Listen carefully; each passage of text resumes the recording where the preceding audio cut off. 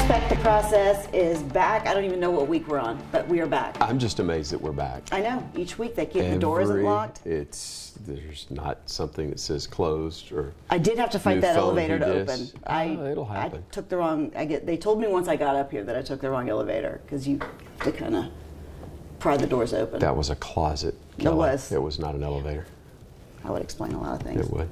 Um, okay, Alabama football. Are Mm-hmm. we back to accepting boring wins? Will we take anything we can get? Yeah. right we will. I won't speak for everybody else, but I will. Uh, yeah, and that was that was a boring game only because of what happened in the span of a minute. That's a 17 to 10 ball game. Mm-hmm. There's about what four minutes to go in the first half or less, when all of a sudden you look up and 17 to 10 third down and a couple. Bama gets a procedure penalty on Amari Niblack. Back them up five. Now third seven. Throw it to Amari Niblack. First down. Boom. From there, score, pick, touchdown again. And instead of it being potentially 17 to 17 at half, it is 31 to 10. And people started looking at the watch, going, "Oh, it's 10 o'clock." Wait a second. You know, if we go home now, we can make early church. Tonight. right. So they were getting out of there, and it was a lot less loud. And I thought Bama played really, really well. They would have been nice to add a touchdown in the second half, but Will Reichard's automatic right now. He's fantastic. So you never let them feel like they had hope, even when they scored to start the second half, to make it 31-17. Put them away, got points, and just kept them at arm's distance the rest of the way. This feels like kind of the first time since they played Texas that people aren't talking about Alabama this week and what's wrong. They're more focused on the next game. Yeah, I agree. I think that's exactly right. And it's two things. One is Bama's gotten a lot fixed. Bama did a lot of things well. Um, they look like Alabama. Also, people understand A and M's good, and and you're able to talk about the matchup itself and what happens if both play well, strength versus strength, all of those type things. And a lot of that tends to favor A and M right now, but I don't think Alabama's going to fail to show up. I think they'll be ready to go and excited to play on Saturday. It is going to be interesting to see what the offense does. It, having watched Milroe this past week, I mean, he was 10 of 12. Yeah. Obviously, they did not throw the ball out when you look at that line. Right. A&M seemingly would stack the box to prevent them from continuing to have success in the run game. So it will be interesting to see what Tommy Rees is able to dial up this week. Well, it's two things. It's the the scheme part of it, but it's also can you protect Jalen when you do have to throw, and you're going to have to throw, because A and M is one of the best in the country in pass um, in pressures on the quarterback. But Alabama's unfortunately stats wise one of the worst in terms of protecting the quarterback. They they've got to give him some time because you're going to have to throw it at least a little bit to take pressure off the run game, which is getting better and better. But you've got to be able to take some pressure off of it, and that's going to be a huge question mark in this game. It's going to be a homecoming for Milroe, though. I mean, having Yeah, grown up true. just down the street from College Station and, mm-hmm. and Katy, Texas. So I mean, I'm guessing that he will probably have family, and it will be, and having originally committed to Texas. I mean, he's Yeah. going to be back in his home state and be the starting quarterback for the University of Alabama. And that's special for all those kids. I don't care Yeah. where home is. When you go back and you play in front of the home folks, there's there's a lot on you. There's a lot of pressure. Um, you know, a couple of picks against Texas in that game, but a lot of other things that he did really well. We all know that it only took about a week and a half later before coaches realized, okay, we know what he's not, but we also know what the other guys are not. Right. And that's better than him. So staying with Milroe, trying to get things better in terms of play calling towards his strengths and also better decision making from him. We saw some signs of that. He made one throw that he got away with. Know. Uh, Yeah. It was one back across his body. I look, I look back on the replay on television, and there were three DBs or three defenders in the area. I think of Niblack, who made made the catch. Maybe it wasn't him, but made the grab. And I'm going, holy cow, that's that's not one they recommend because it's back across his body, three defenders, one receiver. It's not how it was drawn up. but it's a perfect throw. It's a tough throw, and it was right on the money. Hit him right in the numbers, and that had to be a lift for his confidence. I know it was a lift for mine from a confidence standpoint in it because that's a big time throw. It's not one down the field. We've seen that; those are great, but this is one with a defender hanging on him. Had to had to make the throw with all sorts of stuff going on around him and had to really thread a needle, and he did. That was good to see.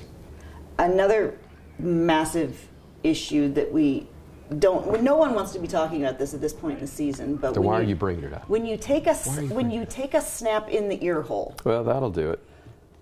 Are we talking personal life? What's the deal? we, we could. That- That's a whole other show. Sorry. But um, Milroe, uh, the other day when uh, on Monday's Yes. press conference, Saban took a good seven seconds. Take a before he deep res- breath. Before he responded. Milroe, when asked, took ownership of it, which is a great leader and a great quality that you're looking for. Mm-hmm.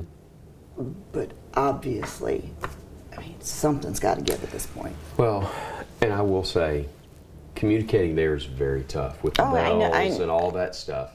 But you, you still can't. It still can't happen. There were two plays, and I think it was that one and maybe the punt just prior to that drive, where Bama was really fortunate to get the football back. That mm-hmm. could have gone very different, and that game maybe looks different. Certainly at halftime, if that doesn't go Bama's way, or one or both of those don't go Bama's way. So.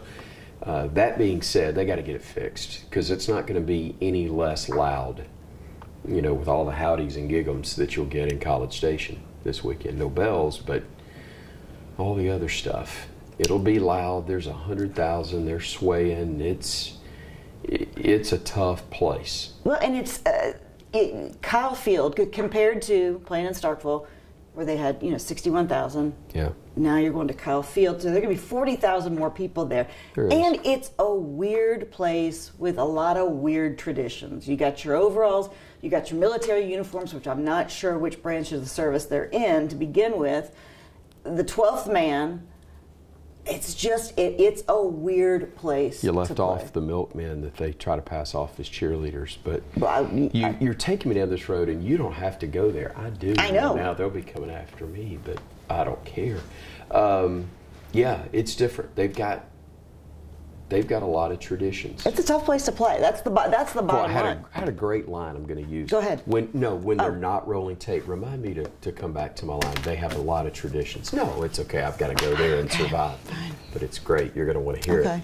So anyway, a lot of traditions, but um, it comes down to who's making plays, Yeah. and Bama has done a better job of that historically in this series unless Johnny Manziel is on the field, and that only happened once.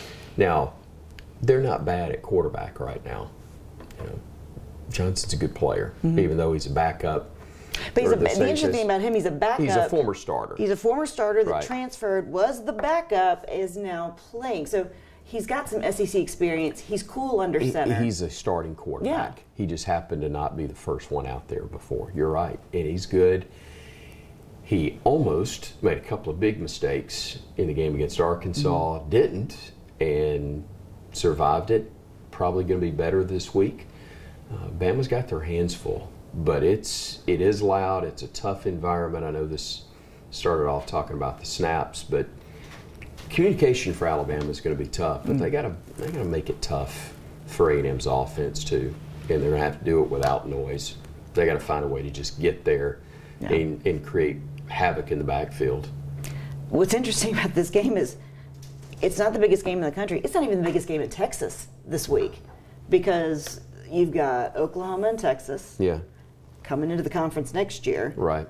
Uh, a lot of eyes are going to be on that. Mm-hmm. Um, you know, I think to further the legitimacy of Texas, you know, it doesn't hurt Alabama necessarily for Texas to keep winning. Um, but the interesting thing between A and M and Alabama, both four and one teams, this one, the winner of this one, controls their destiny they do. and uh, gives them a chance to get back to the SEC championship. You're right, and obviously, and I know you know this. Uh, it may not be the biggest game in the state. It's not going to matter to either side, and it's not going to affect preparation. It's not going to affect noise Yeah. level. It's not going to affect execution. It will affect some of the conversation by people that do what we do for a living. It will still be, I think, when all's said and done, maybe the best game that takes place. It's got that type of chance. I hope it doesn't go down to the last play like it did last year. If it does, I hope we get the same result that Alabama finds a way to win and we can get out of here again. And uh, it would be fun to see Alabama get that, especially on the road. But I said it two or three times already. They got their hands full. A&M's good, but I think Alabama's best is good enough to get them. Define the relationship between Saban and Jimbo Fisher right now. Yeah, we're we're not we're not confined to FCC. No, we're not. Okay. Jimbo uh, is a heck of a coach. I remember when he was Terry Bowden's quarterback at Samford. I was a kid, teenager, um, who was excited that Samford was starting their program back. My brother had played at Samford in the early 70s, one of my earliest memories of that. So it was a big deal that Samford had brought the program back and brought a guy in that was capable of winning. Yeah. And Jimbo was great, great assistant, uh, really good assistant under Nick Saban. There are a lot of guys in the coaching business that will tell you, because they've told me, Jimbo Fisher owes his career to Nick Saban. If Nick Saban doesn't give Jimbo Fisher an opportunity, I think it was at LSU, he was out of coaching. Whatever staff he was on, they were they were gone. He didn't have a job. Nick Saban gave him an opportunity. And Jimbo's a heck of a coach. Mm-hmm. But he's also one that from a lot of people that know him far better than I feel like he's extremely jealous and is known to pout and whine more than most. And if he feels like feels like he's not getting the attention that he deserves, he will be a guy that whines and pouts a little more. We've seen that. And that doesn't have anything to do with the outcome of the game, Right.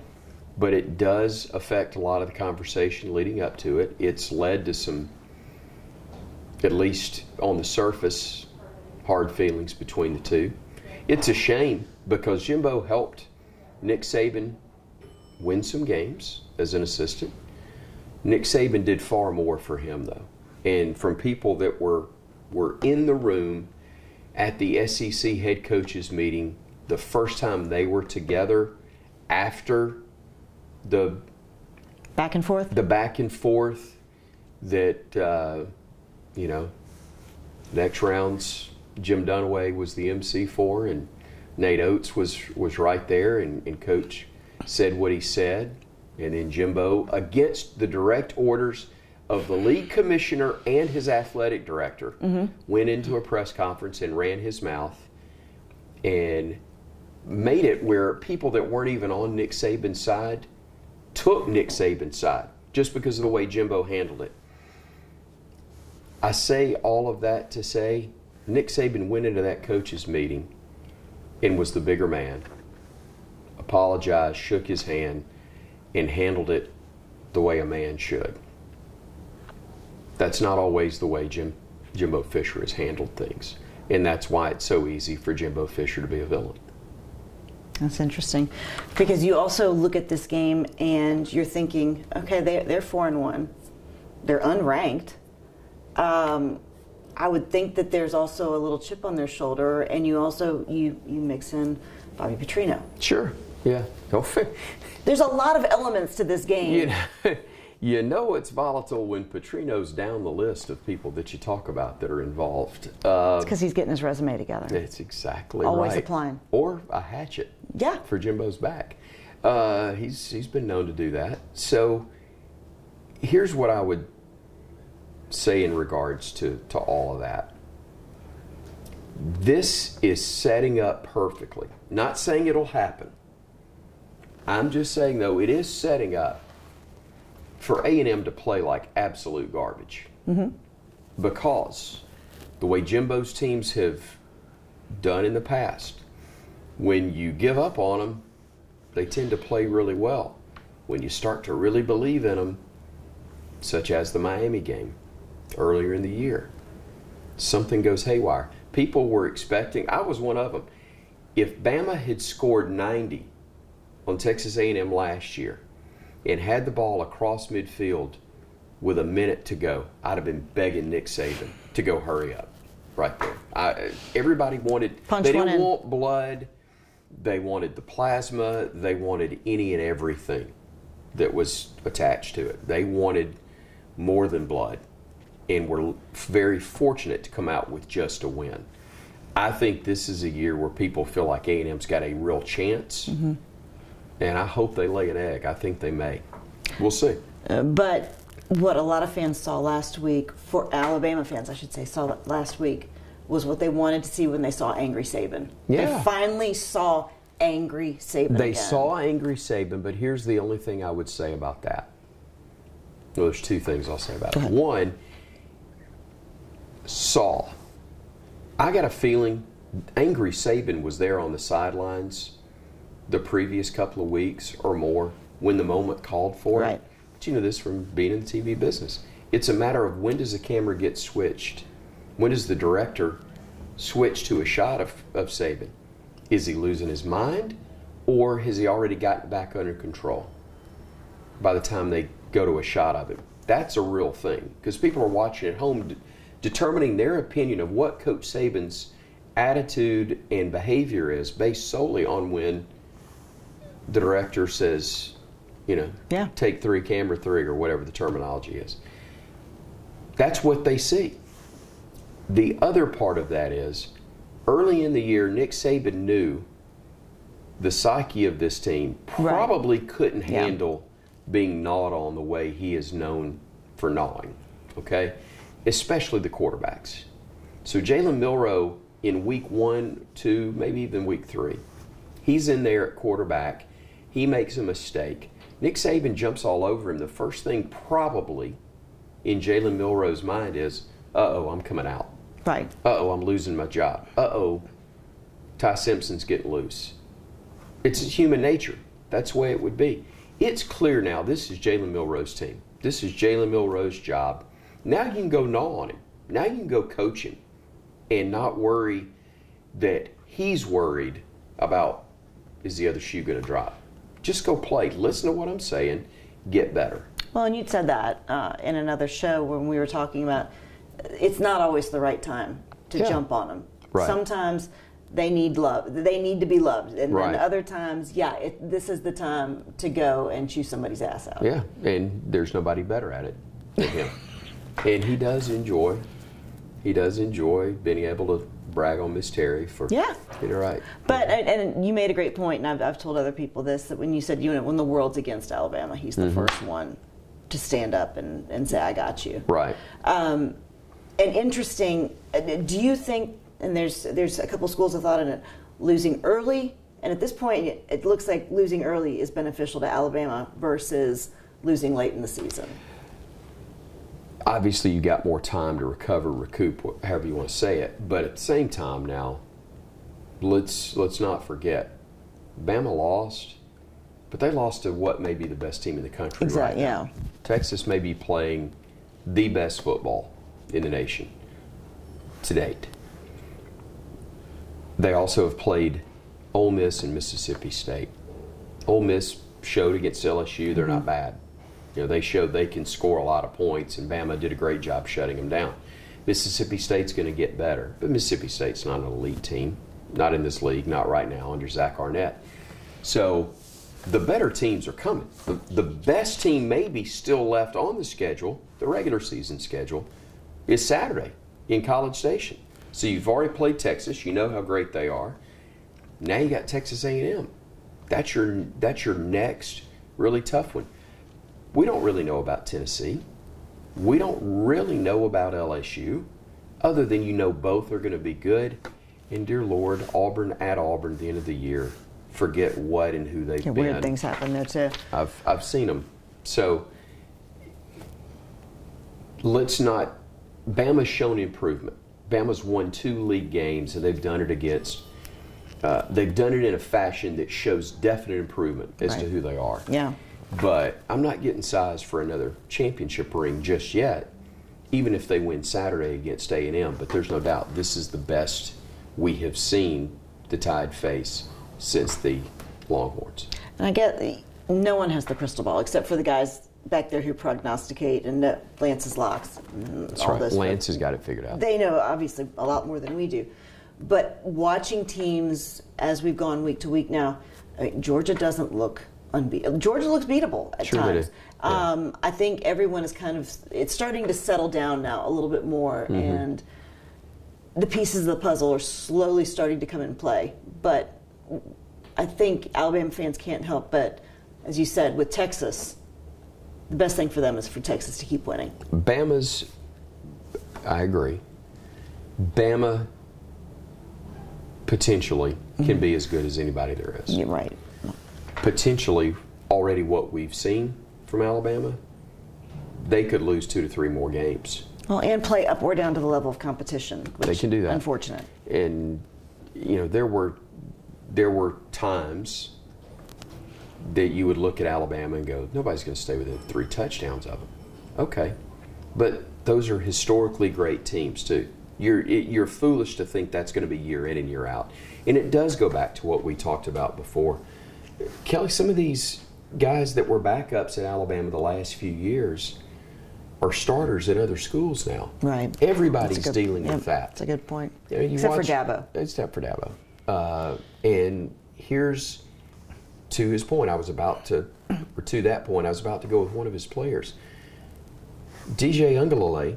God, I got that right. That's amazing. I'm, That I'm, is- wow. The best part is that I said DJ Uiagalelei and didn't go yeehaw yeehaw afterwards. but- kind of like Yeah. Speedy Gonzalez. Anyway, DJ now at Oregon State, doing a really good job there. Mm-hmm.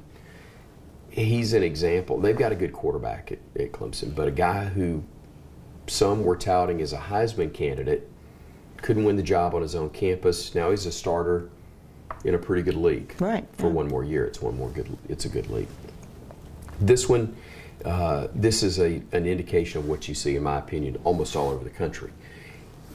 Your frontline guys may be about as good as they've ever been, but your twos are now guys that would have been threes and are going to be great players because that's all Alabama signs anymore, but they're just not as developed. They're not as experienced as they've been. So in- instead of having an experienced backup to move in and, and take over for somebody that's banged up, now you got a kid that's a freshman or maybe a quarter step down in talent mm-hmm. from what you had in years past. Getting, getting back to A&M, how would you grade them in, in the SEC? Since they, they've been in the league now for... Overall, Yeah. I mean, I feel pretty comfortable saying B to B minus. yeah. You know, they've never been, they've always been respectable. They've always been top half. But they've never been elite. And that's not that's not a knock on them. I mean, it's just reality of Yeah. of who they are. Are they a um, a bad program? Absolutely not. Are they in the same breath with Texas and Alabama, Oklahoma? No, they're not. The record shows that. But it's not a bad record. Doesn't mean that they can't have years where they are. It doesn't mean you shouldn't strive to be better.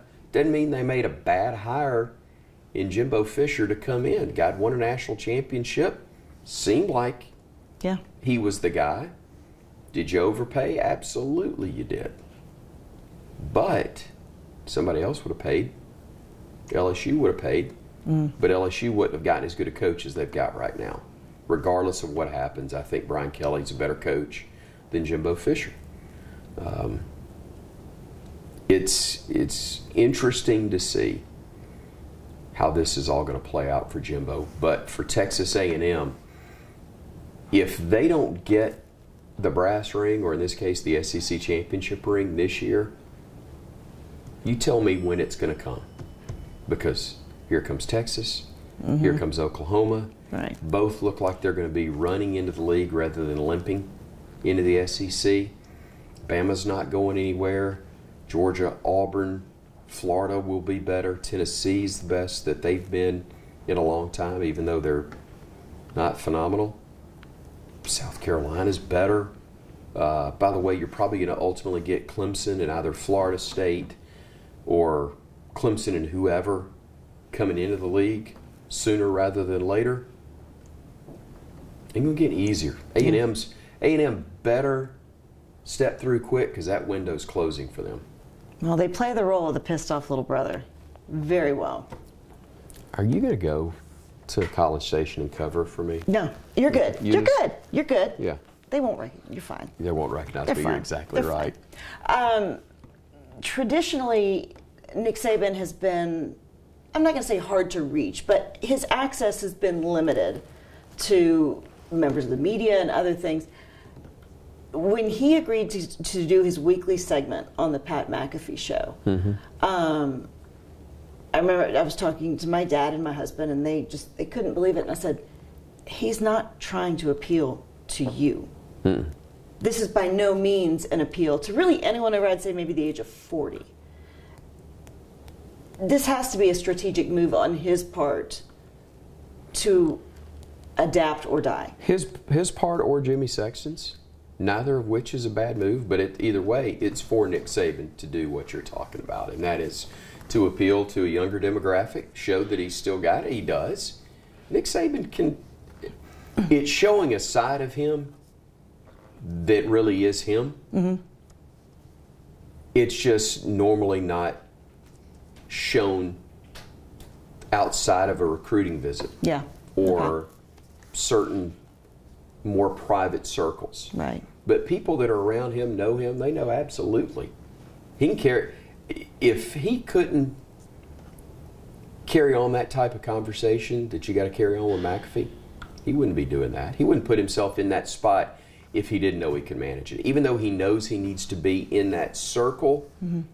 He's comfortable in that circle. I have no or doubt. capable in that circle. Well, if you're capable and comfortable talking to 18 year olds, No doubt. and you know, and I'm going to say, shoot, 16 through 24. It always has been. I know we're talking 15, 20 years ago when he did uh, The Blind Side, the Yeah. Michael Oher Yeah. story. Because I love that quote when the mom was like, "I find him Very attractive." very, very attractive, very charming, very handsome." I can't. It was one of those words that you're. Just, Sandra Bullock. Yeah. Uh, let me just tell you, if Sandra Bullock ever, even in a script, referred to me as attractive, if you don't think I'd have that on a continuous Mm-hmm. loop all the time, anyway, You're like, just go ahead. That's that's as good as it's going to get. Folks. That's as that's as good. Um, George as, Costanza has left the building. What was what was my point before this? Nick Saban told the the uh, producers and directors, you know, they had this script, and he kind of he looked at it, and then he goes, I'm going to make some notes. "Why don't you just let me do this like I would with a recruit? Why don't you just let me talk to him the way I would to a recruit, and you keep your little script, and I and that's what they did." And when you see that, If it works, it's him. Yeah. It's him. And it gives people the real insight to it. And he knew that if he did it that way, that Sandra Bullock would go, I find him very attractive. No, I just it's an interesting. That, that alone makes him a legend as far Oh, as. I'm concerned. Not Sandra Bullock, it was Leigh Anne Tuohy, But but, s- still. Uh, because along those lines, when when McAfee joined Game Day, my husband's like, I mean, I don't get it. And I was like, it's not meant He for talking you to to you. get. That's I was right. like, you're already watching, and you'll continue watching. Ain't talking to They you. are trying to bring in a younger demographic. Yeah. And it truly is part of the adapt or die. And we go back to talking about Adabo Swinney is not going to, at this point, not going to jump in on the transfer portal. Um, you know, if you're going to continue to run a successful football program, there are Yeah. certain things that you're going to have to do. You do.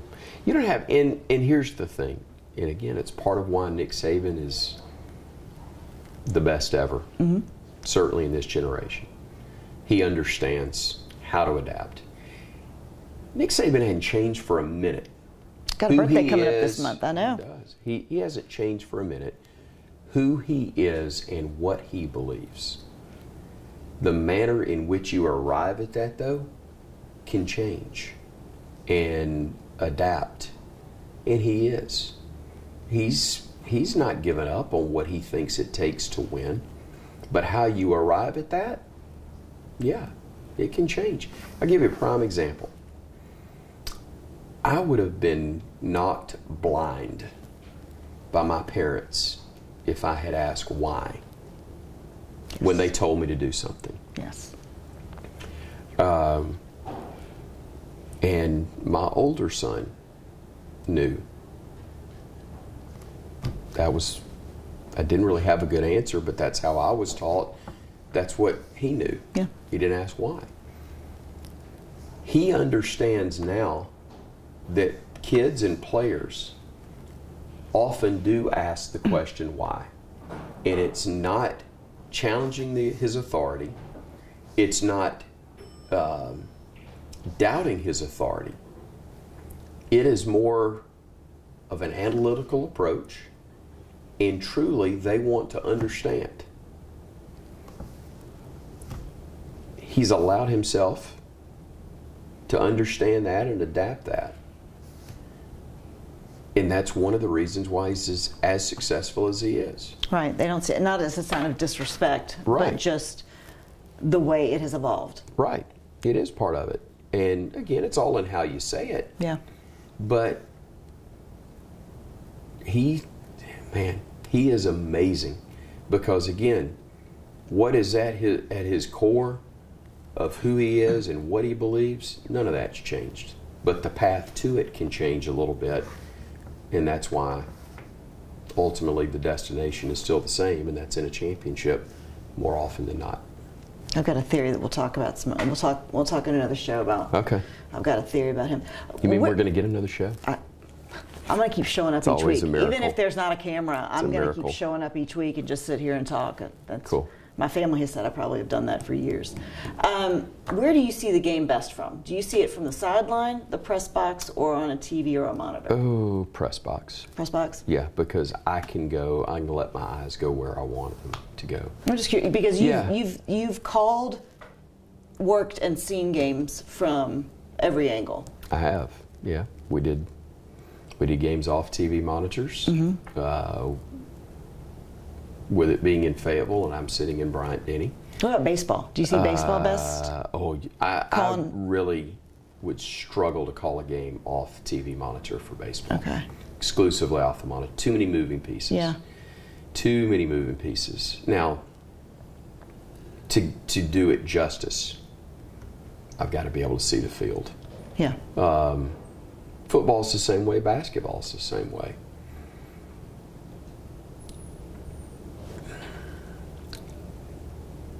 Sidelines for football, you get a. It's really important, I think, to have someone down there yeah. because they can give you a perspective, especially if it's a former player. They can give you a perspective that just means so much um, that I can't give ever, but especially from the booth. I think another piece of that is they can give you attitude. They can actually look into the guy, the eyes of some guys and see mood and relay that, especially for radio. But for me to be able to see the big picture, to describe it in a, from a play-by-play perspective, there's nothing like sitting on the 50 or close to it, where you've got the vantage point Best seats in where the you can house. see it. It's it is great. I've also done them, you know, from the corner of the end zone. Um, for instance, we're at the Jor- uh, Jerry World. You're at you're Oh in yeah, Dallas. Da- Dallas. Yeah. You're in Dallas, where the home radio booth is, where Brad Sham, the longtime voice of the Cowboys, operates from. It's a phenomenal booth. It's a suite. I don't it's doubt it. great to mm. have, but it's positioned. I think either with the pylon or actually in the end zone.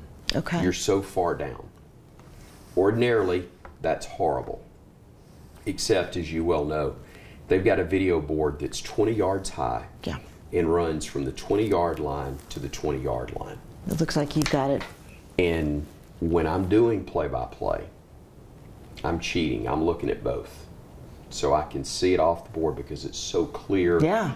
And I can see things, especially on the other end of the mm. field, better than I can Yeah. right in front of me. But I'm able to get a big field perspective but also look up top and get the picture there. I'm never touching the binoculars unless there's somebody injured and for whatever reason they don't have the camera on them. But man, it's that's a that's where you really get the best of both worlds. Do you have a favorite place to call games from outside of Bryant Denny, which I know is your home base? It is. And it has to be one of your favorite. But would you have a favorite? It would stadium? ha- it would be um, AT&T Stadium. It'd be Jerry World just because of the video board atmosphere setup.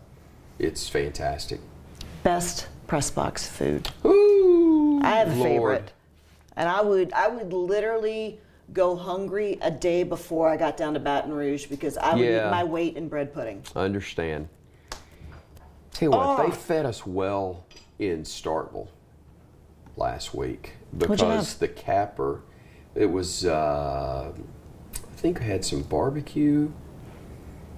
No, I take that back. There we had uh, chicken Alfredo. Oh, okay. Chicken Alfredo, well done. But the capper was the ice cream from the dairy on campus at Mississippi See? State, and there's like seven different flavors in those in those freezer, you know, those cups Yeah. like you got in elementary school. Oh yeah. including the wooden sticks. Oh, You had about seven different flavors to pick from, and in the cooler, and I'm in. yeah. Eddie, Fo- I've told you the Eddie Fogler line on here, right? The former I don't think Wake so. Forest, Georgia Tech coach. I don't think he so. goes, "You show me a room full of poorly dressed men and a free meal, and I'll show you a media gathering." That's exactly it. That's Eddie Fogler.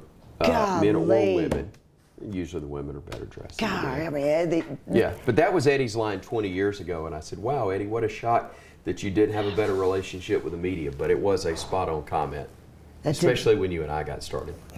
Oh It's that drove me now. nuts. Are you kidding? They people be up there like they hadn't eaten Had months. They was like a, like a three-legged Still cat. They were just. Still is. Oh my gosh, that's probably the only time I ever at the trough, man. I ever lost my mind on like A uh, different media member. on satellite truck operators or when they were too busy fighting for the chipwich or you know their ice cream cone and I miss I missed my window or I missed my live shot because they were up in the press box because they were trying to get the warm cookies. I was like, really? Was it good? Was it worth it? Was it worth it? It's all about the warm cookies. But I'll tell you, no. I, I always liked Baton Rouge. That was one of my favorite. Not bad. Um, some Not good bad. bread pudding. Okay, so 2:30 Saturday. 2.30 Saturday, 11.30 airtime on Yep. Crimson Tide Sports Network. Uh, podcast for me uh, on my social media Chris platforms. Stewart. ChrisStewartOnline.com is the website, but you'll find the links there. But at C Stewart Sports for X or Twitter X's. X or whatever. Um, but also, uh, we make sure we refeed this and Yeah. hope you'll all the things. take this and share it. Show your friends and family. Do all that just, stuff. You know, before the game, after the game. Uh, but no, travel safe. You leave in. Friday, Friday. morning, 6 a.m. out of Birmingham. Woo! Oh, you gotta love that. Nice and early. Oh yeah. it could be driving. It could be worse. Could be It driving. be- Have done that. Yeah. Don't want to do that. So flying to Houston with Tom Stipe, Butch Owens, and then we will drive on up to College Station and be there for the weekend. Yeah. Hopefully, enjoying some good uh, brisket on Friday Yeah. and or Saturday night after a win. Because they don't they do like pep rallies and bonfires and all that. They do a lot They have okay. They have yell practice. Yeah, they have. yell- That's right. They you do have think a yelling. but bonfire, but the milkmen will be leading yell practice on Friday night at midnight. Whew. Unnerving. Boy, if I'd gone if I'd gone there, I would have you know had to interrupt Bible study to go to yell practice uh, on a Friday night at midnight, and then quickly get back to Scripture because that's what I would do on a Friday night. Um, as always, I ain't buying that as far as never mind. we want to thank Chris Stewart for My stop- pleasure. for stopping by, and we need to give him one good one To- before the uh, weekend well, starts. roll tide and God help you. How about that? Hey, exactly. So travel safe. Thank you. We will see you back here. Thanks for watching Respect the Process, and we'll see y'all next week.